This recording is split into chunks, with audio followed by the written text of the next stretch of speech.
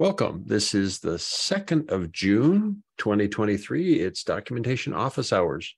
Thanks for joining. Topics that I'd put on the agenda uh, 2.401.1 released,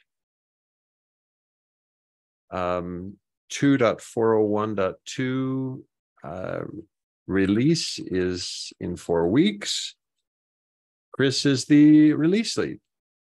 Yep. Is it two weeks or four weeks? It should uh, so Oh, release oh, candidate is in two two- weeks. Yeah. Right. Okay. So I just got them confused because I have to get the the draft set up by in two weeks. Right, exactly. So Doc's team needs to create the change log and upgrade guide for 2.401.2. Okay. Internationalization pull request, end of life notifications, and May newsletters. So Ashutosh, with you here and with Chris here, are there other topics you'd like to add to the agenda? Yep. GSOC. Okay, Google Summer of Code. Yeah, because like two projects are like directly related to dogs. So All right, and so we've got the, we've got the Docker Quick Start. Project, and we've got the alternative build process, uh, no, let's call it what it is, versioned documentation for the Jenkins handbook, Yep. user handbook. Okay. So any other topics you want to add? Google Summer of Code and Ashutosh, this is yours, if I remember correctly, isn't it? Yes. Good. All right. So let's talk to that one. That seems like, and if there are conversations we need on version documentation, we can certainly have them. Otherwise, I think we've got a meeting scheduled in 12 hours or so. Yeah, we do. Okay. Any other topics that need to be on the agenda? Okay, then let's take this one first. So Ashutosh, do you have questions or do you have topics you'd like to discuss?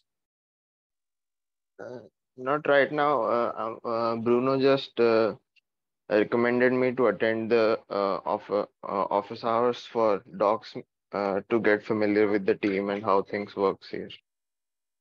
Okay, great.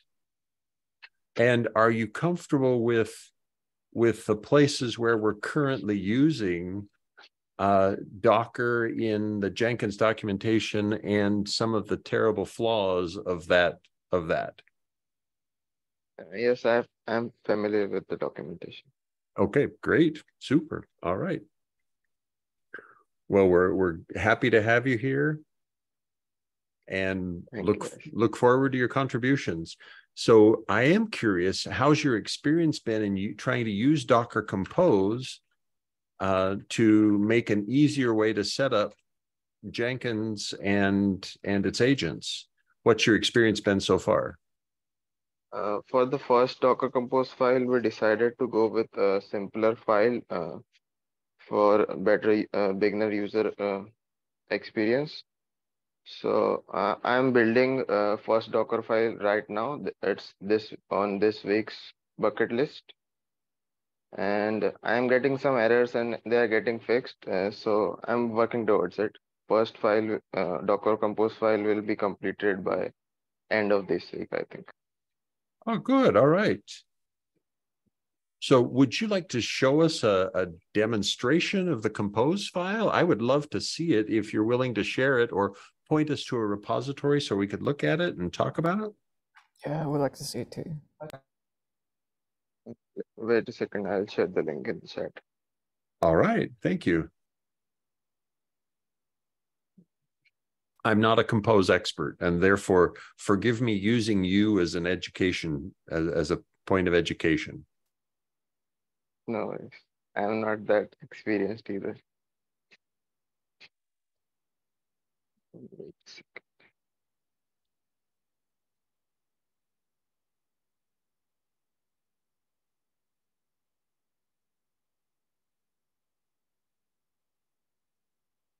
Okay. So We are, uh, this is the experimental repo for the project. Perfect. Okay, so using a modern version of Compose and the Jenkins LTS version running as that seems dangerous. I'm a little surprised you're choosing that one. What motivated you to choose user root? No, I, I, this is for, uh, I was just experimenting, so I ah. gave all the permissions. I was getting some errors, uh, especially with the SSH keys. I was using R RSA first, and this was, RSA was not working, so that's why I get the error. And we used ED25519 uh, that solved the error for keys. But we still don't know why the RSA was not working with uh, Ah, okay. Well, so in terms of documentation, I much prefer ED25519 keys because they're, they're so much shorter text. Uh, yes. The document the the Open SSH people say they're also more secure. Okay, so so and now now the and you're doing privilege true for the same reason i assume that hey while you were doing development work you you wanted to be sure that permissions yes, didn't to, get in your way yes yes that's the. And now you've already got an agent configured does it actually work for you is this is this working successfully yes and this one is working successfully that's why uh, i set all the things to root and privileged because of so I didn't get in my way. Great. This and is so just for experiments right now. Sure. We are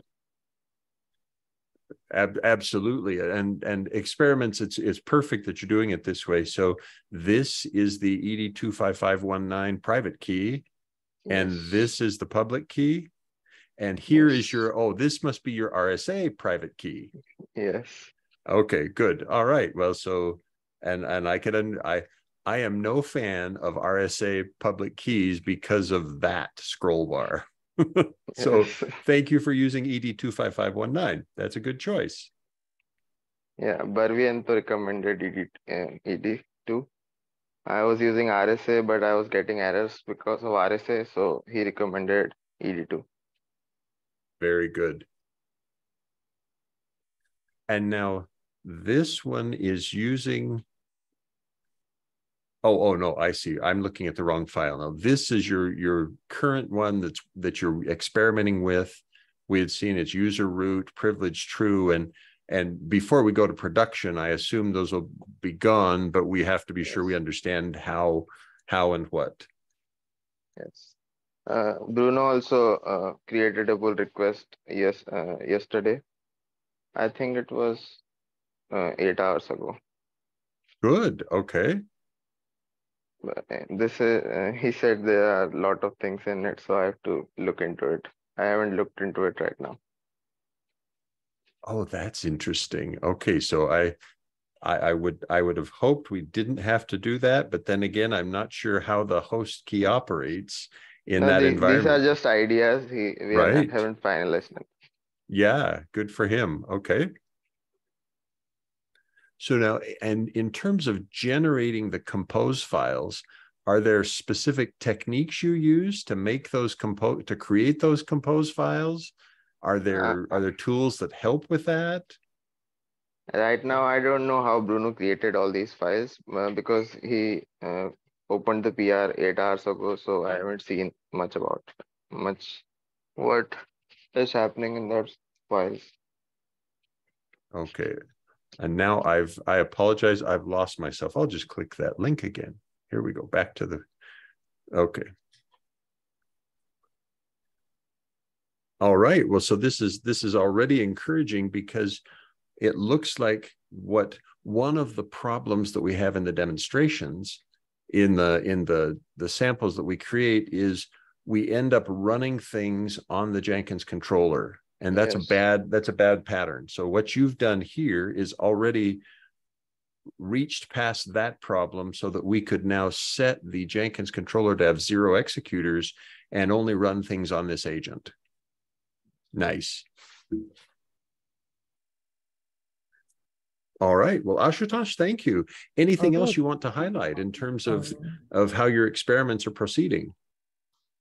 experiments are uh, turning out fine. I was wondering how the process of setting the documentation will go. Uh, that's why Bruno recommended to attend the meeting. Uh, the plan was to just see, uh, get familiar with the team with the first meeting and discuss about documentation later when the Docker files are completed.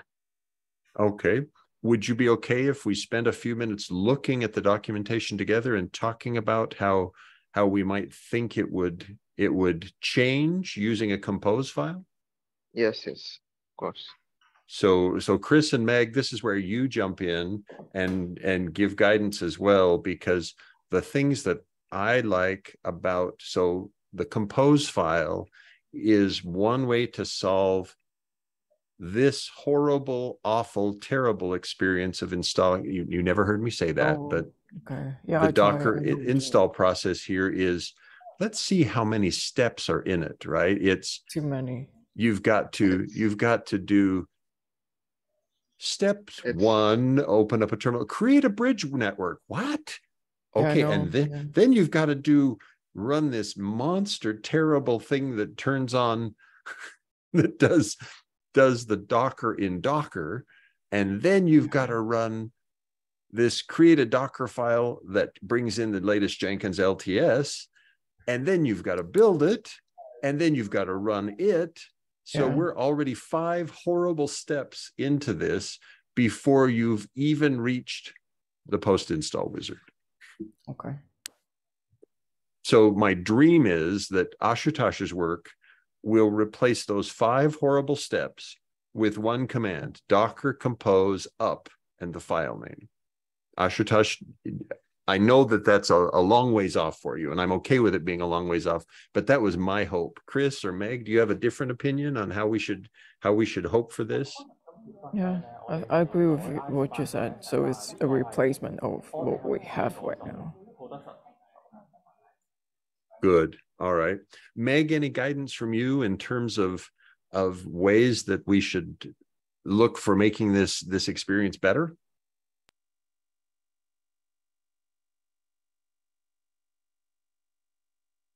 You're mute, Meg. Yeah, Meg, you're muted if you're saying anything. Okay, she may be away. There, no, I was oh. just muted and then I couldn't find the microphone sitting here squirreling like a fool with my mouth. Um, and then is it going to be a similar process for Windows? So the Windows, the Windows documentation today uses uses the Windows installer. Okay. And so that won't change based on what what Ashutosh is doing, but Oh, I, maybe what you were asking was Docker on Windows. Is that what you were asking? Right. Yes. Got it for Macs and Linux. So I think so, and I think if if we are if we are as if we are as lucky as I hope we will be, the Windows and Mac OS, the Windows, Linux, and Mac OS will actually become a single thing. Ah. Because you don't really have to be. The only reason for the the differences between these is this exotic stuff with Docker and Docker. Right. And I am hopeful that Ashutosh in in investigating can find ways to to do that in a way that works with with containers on Windows and containers on Mac OS and Linux. Now, the assumption for me is that in each of those three platforms, the container is actually ultimately running an, a, a Linux variant inside the container. And that's the default way that Docker CE runs on Windows is it runs with Linux containers underneath. So, so Ashutosh, does that sound okay to you? Or were you assuming that you would have to do something somehow with Windows-based containers on Windows? No, I was also assuming that will uh, be a single file for every operating system. Great. So the the the the dream then, Meg, is that the on Mac OS and Linux section disappears, right. and the on Windows section disappears, and it just becomes. This is how you do it. This is how you do it, and it's a simple command: Docker compose up, and the the single file. Right. That'll be lovely. Yeah, that's the match. That's supposed to be Docker. You can run this. It doesn't matter what operating system you're on. You get in it and Right. Well, and and this the thing we need here is, and the, this that's the thing that Ashutosh is doing for us is creating a multi-container configuration, right? So here's the agent container, here's Mhm. the controller container, and I suspect for tutorials there'll have to be somewhere in here a Docker and Docker container or something that gives Docker agents to the controller as a as though it were a cloud. And I don't know which of those it is, but but yeah. that's that's the the the likely destination we dream of. First step, I would love to get rid of this awful ugly things that are here and then then we can consider going further from there. Great. Very nice work. Um, I got some question about the Docker compose file prepared by Ashutosh. It's like um, I'm I'm wondering if it's a good idea to put like um like under Jenkins restart no as well, and also to add the the SHM size to it. Oh, you, you so Chris, I missed that. You suggesting restart? So a Uh, restart so, setting? Uh, yeah, restart setting to set to no for the Jenkins controller. Oh no, why would you set it to no? That's interesting. I thought that it was typical that for Docker, I had to set it to I set to restart some other setting. Now, I now I've got to go look and see what it was, but I, I remember that I've got a setting in mind that says something about restart. I just don't remember what the restart setting is. Okay, we should look into it. Yeah.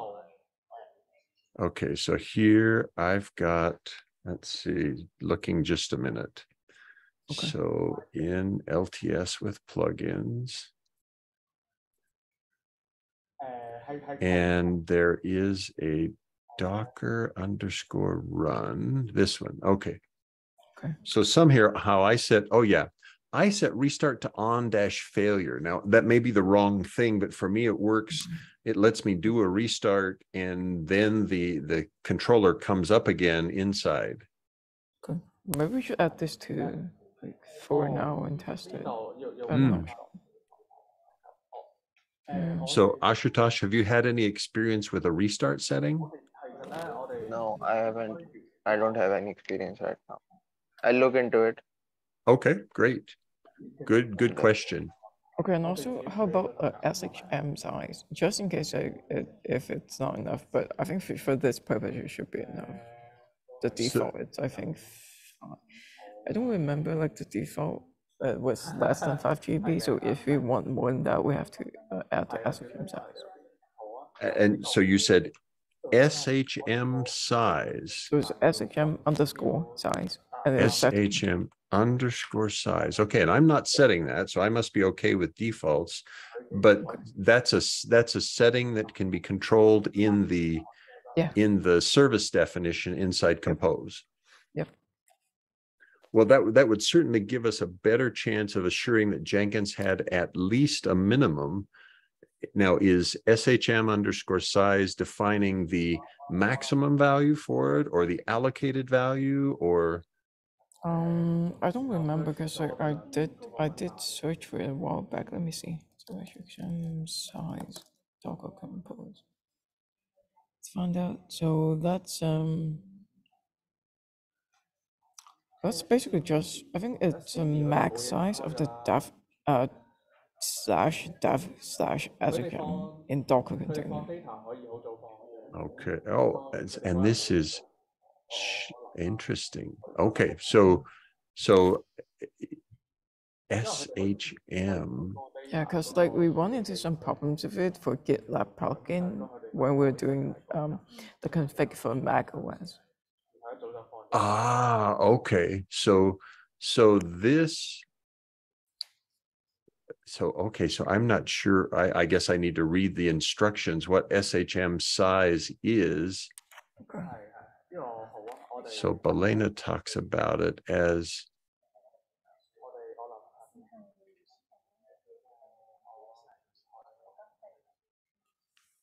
Interesting. Okay, so needs more research. Uh, Ashutosh, you've got the, uh, good question. Any other questions, Chris? Mm, No, just those two. All right, excellent. Ashutosh, congratulations on being accepted and thanks, thanks in advance for your contributions. Good luck with your investigation. Yeah. Thank you. Mark. Look forward to seeing the next stages. Exactly. Good work. Yeah, good work.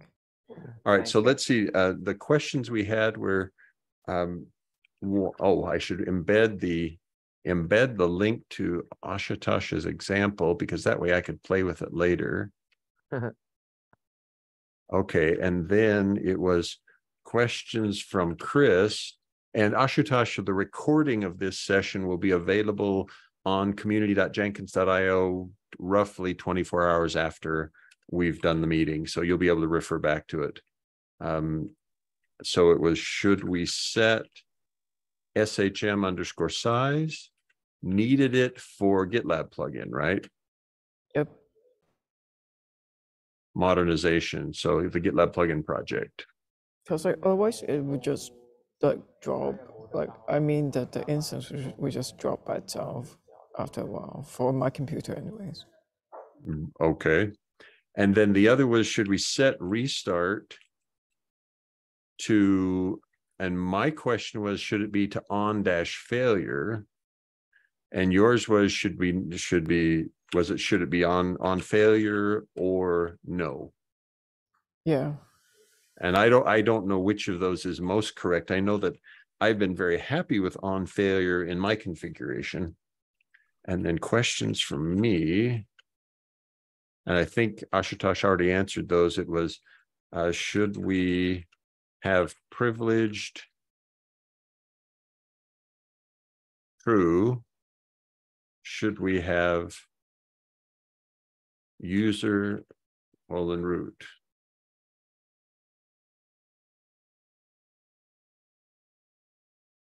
And I think the the hoped answer, the way Ashutosh described it, was the hope is no on neither of those, but for now it's it's in his his his experiment, his prototype.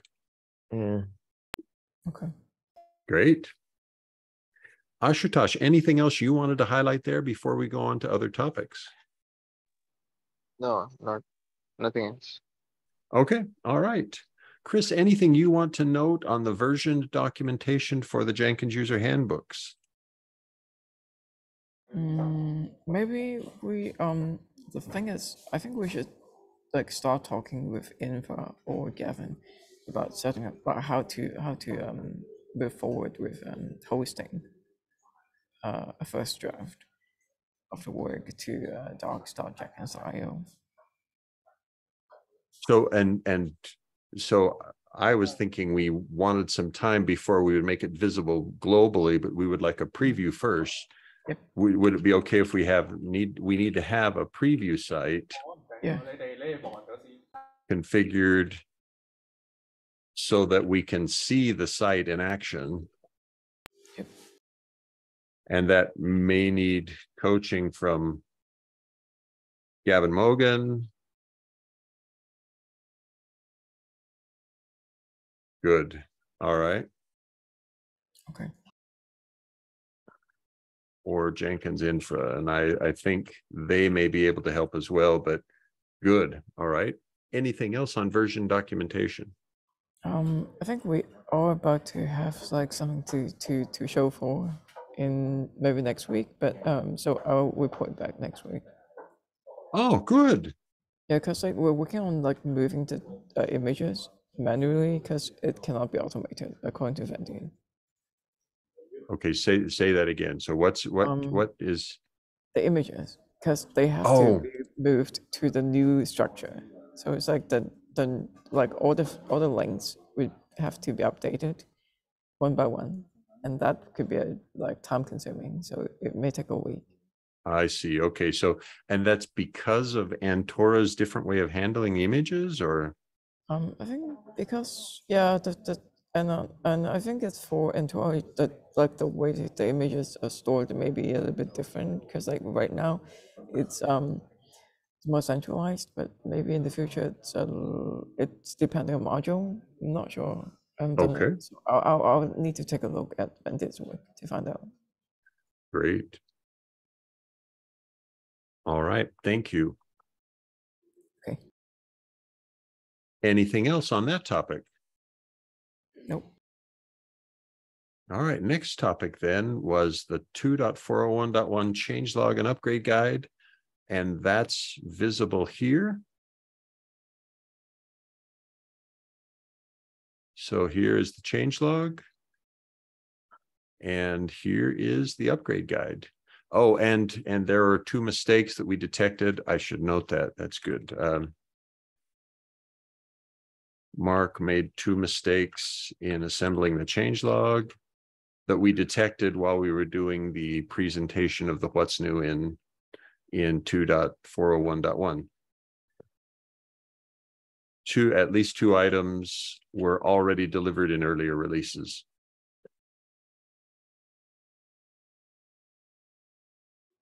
Okay. So I'll get those removed.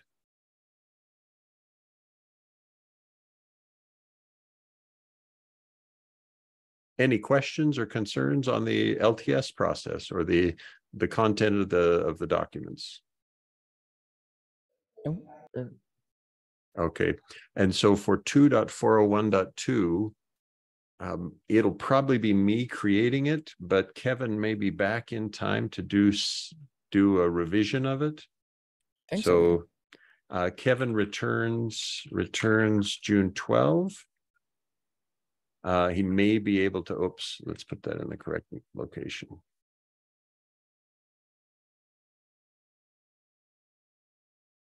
Oops, Kevin returns June 12. Uh, may be able to do the change log. Okay.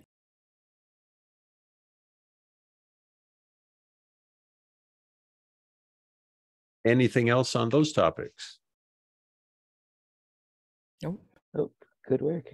Okay, next one is a victory. This pull request from Jeffrey Chen uh, came in two weeks ago or so. And what Jeffrey did was he brought back a stalled pull request that was originally proposing to take content from the internationalization instructions on the wiki page. And uh, this is something that was done all the way back in 2019 it was started. We did long series of conversations about it. Meg, many others have been involved. And we then said, hey, this is stalled. We're going to move it to stalled so it's not distracting us. Jeffrey Chen brought it back. What he brought back, though, was incomplete or not quite what, what I thought we should do. So I proposed some alterations to it. Jeffrey accepted the alterations and we ultimately deployed it as let's look at the page.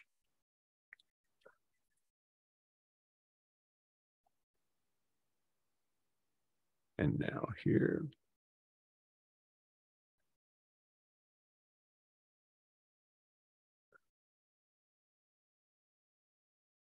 So here we've got first pieces that international and localization, internationalization and localization is no longer work in progress. This is good enough. It's production. All right. Developer tasks, translator tasks, both relatively short lists, an entry for Chinese localization still, and pointer to how to configure IntelliJ to make your job easier doing localization. With links inside the page to more details. Then right next to it on the page is the Crowdin integration that Alex Brandes has helped configure and makes it much, much easier to translate plug-in text from one language to another.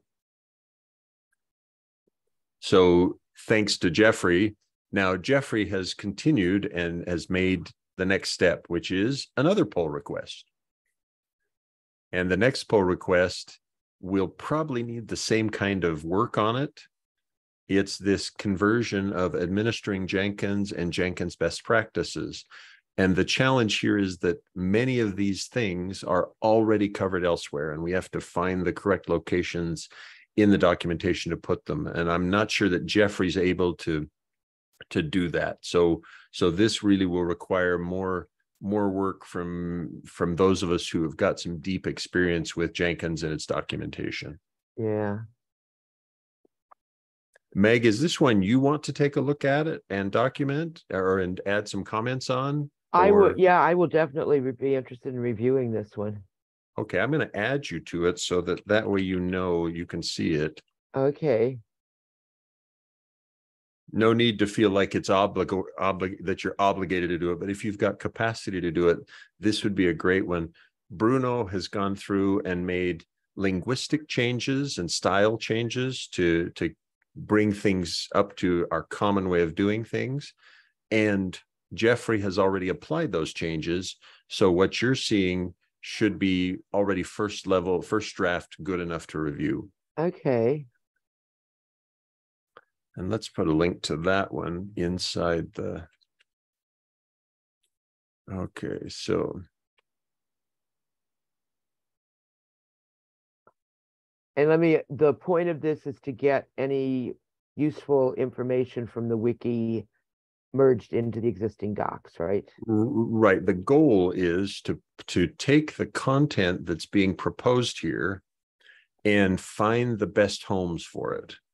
Okay, And and that's that's a structural question, not not as much a content question, right? It's right, okay, we read the text and the text says this, and then we have to decide do we already have something that says this? And if not, where should this be put? Because I don't think we want a new page called administering Jenkins, no, right? We've already got plenty of pages like that. So, and and I suspect we don't want JNDI environment entry. So so there there's some things in here that are just flawed, and we'll discover those as we're working. okay. But we're not gonna talk about whether the split between management and administration is always sane, et cetera. That's beyond the scope of this, right? Well, it's what what I was thinking is let's find the right place to put this kind of content if it doesn't already exist.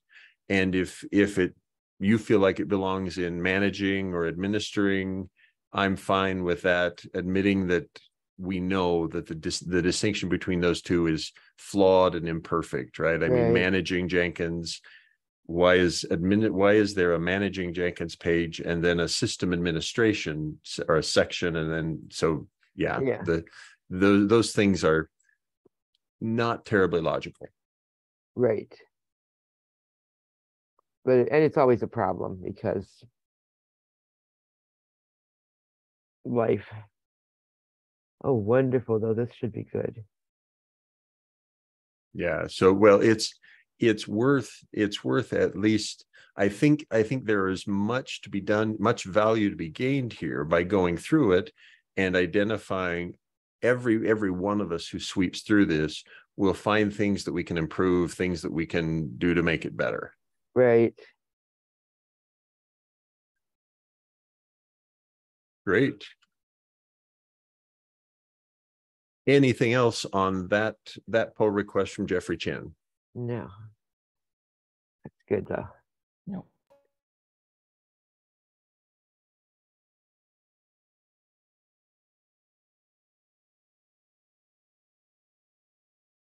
All right, then the next item I had was end of life notifications in Jenkins core. So this one is, we've got a, with beginning with Jenkins 2.407, we've got a warning that appears to users now if they are running on an operating system that will be end of life in the next six months. What that mean? What, Meg? Oh, I was just saying, yay. Yes, exactly.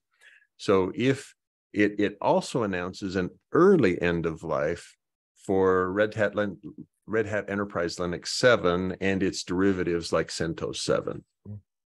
So that early end of life is because that thing is such a pain to support that we want to get it out of the Jenkins project sooner, as soon as we can. Yep. Now we've got the next step on this, and the next step hasn't started yet, but we, it will be coming, which is container end of life. So this was operating system end of life.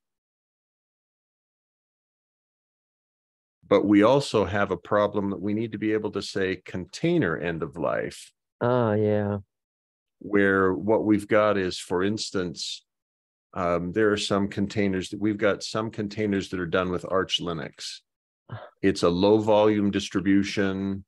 Um, we don't have anyone in the maintaining team that's interested in it, so it's not being maintained, and therefore, um, it's it doesn't make any sense for us to retain it.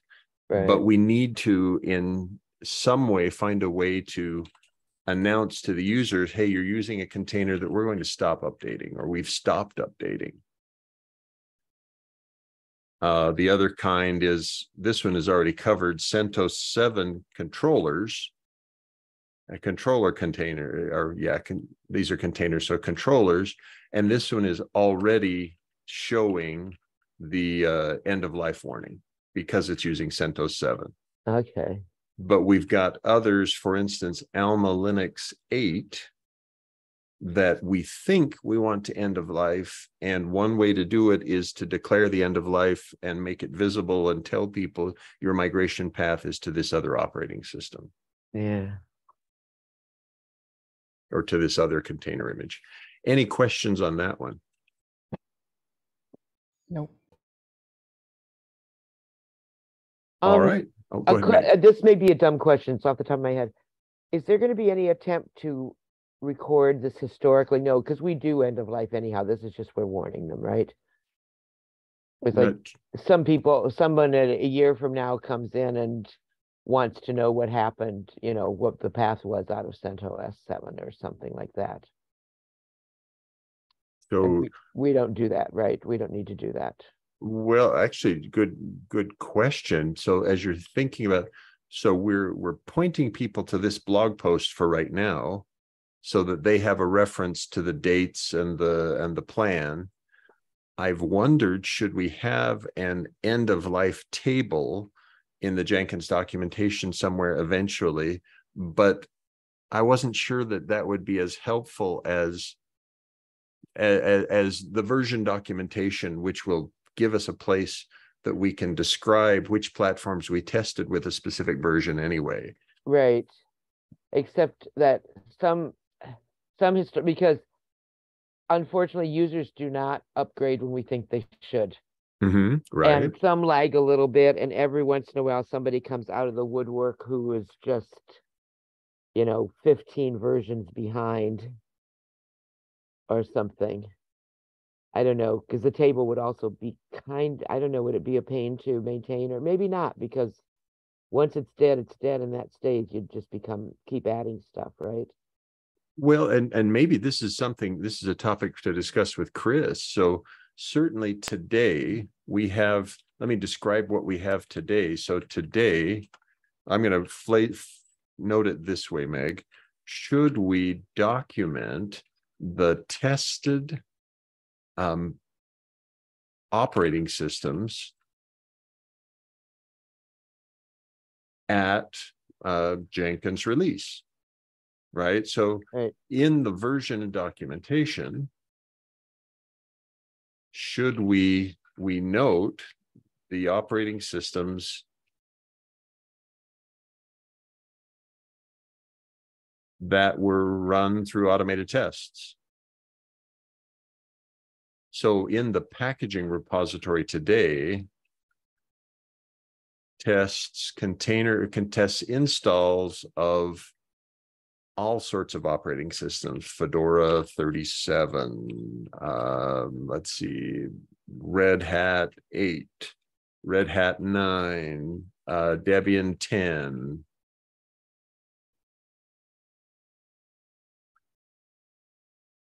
And maybe what we want is some way of, of declaring, hey, here are the things that were tested so that when we have version documentation, we see that 2.401.1 was tested with this mix of operating systems.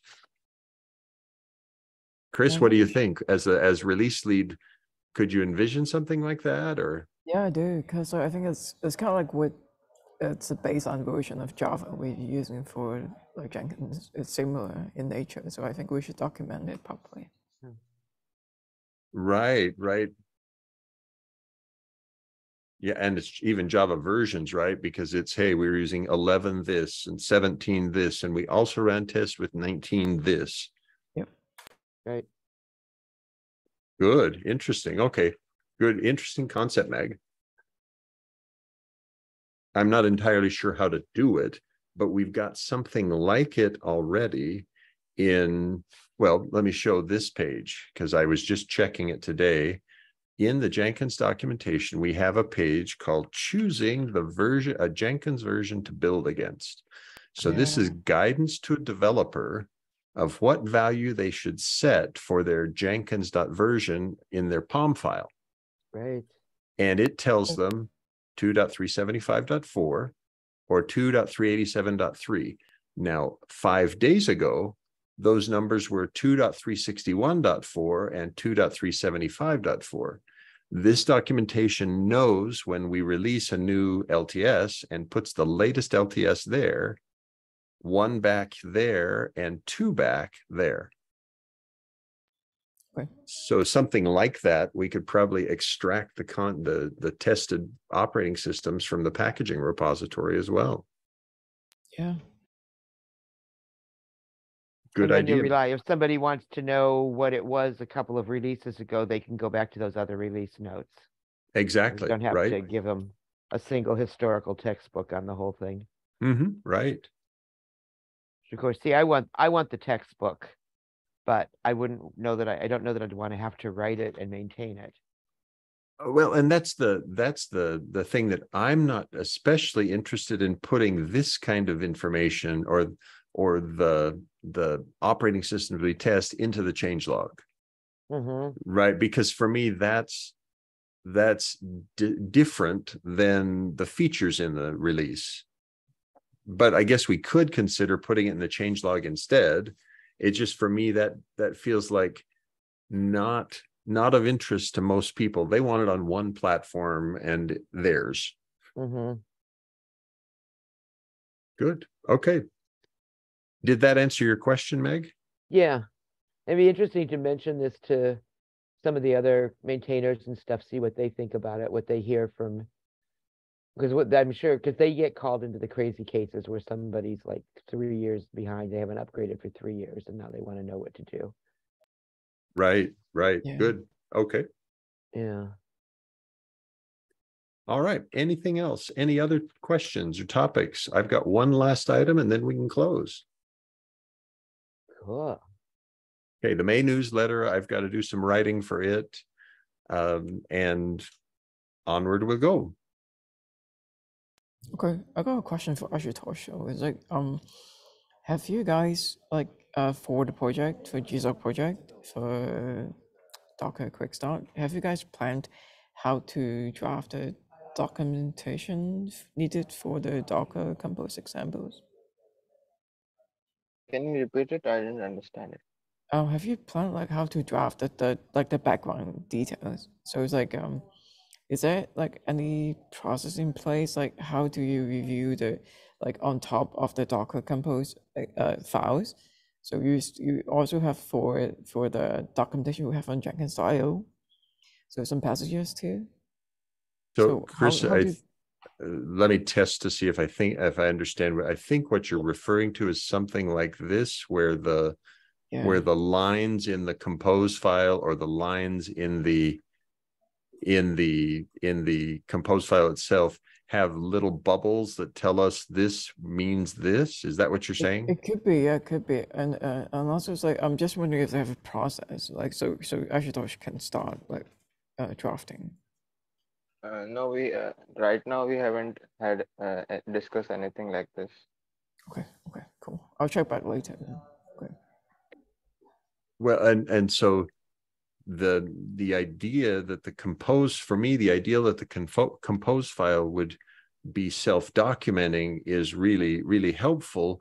But the challenge with self-documenting in the compose file is then it becomes mostly comments. Oh, I, And- I don't I, I don't mean to document in the compose file. It's just to Ah. document it for the Jenkins IO, because like we, we're not just using the Docker compose file for the examples. So there's like there's some background information behind it too, and those like Ashutosh may want to collect as he goes along, and he don't he may not want to wait until the last minute to do it because then he may have forgotten like most of the details. That's what I'm asking now. I see. So I think what what you're suggesting is there are probably assumptions that Ashutosh is making, and it may be good to capture those assumptions or background information. Yep. For instance, this this one, hey, temporarily privileged true Yeah, because we want it, but long term we don't want it privileged true. Temporarily user root, long term we definitely don't want user root. That kind Yeah. of thing.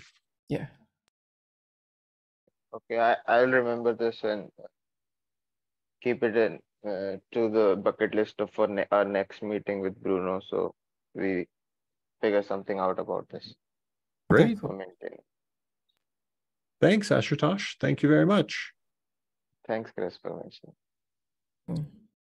So the idea is some form of of running notes or uh, lab notes or don't forget this or I did this because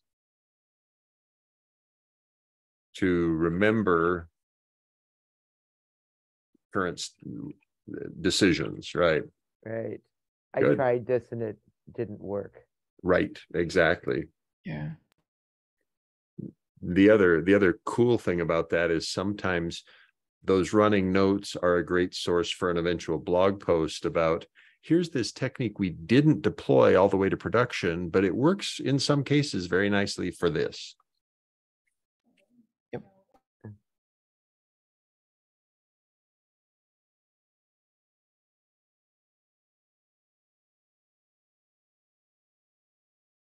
great. Thank you. Anything else? Nope. okay. Thanks everybody. Thanks, uh, everybody. recording will be available uh, probably within 24 hours. Okay. Have